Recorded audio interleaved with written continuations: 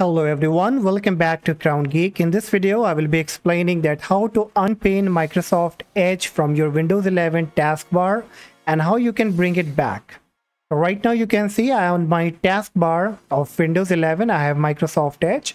If I want to remove it from here, if I want to unpin it, then it's very simple. Just make a right click on it. And then from the suggestion, you will find unpin from taskbar. Click on it and it will be gone.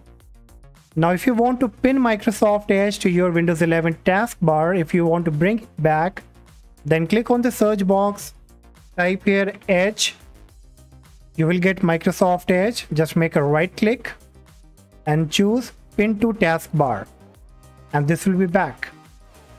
Alright, so this is how you can quickly unpin or pin your Microsoft Edge from Windows 11 taskbar Hopefully you find this video helpful and if yes, please consider liking the video, subscribe to the channel and I see you in the next session. Bye bye.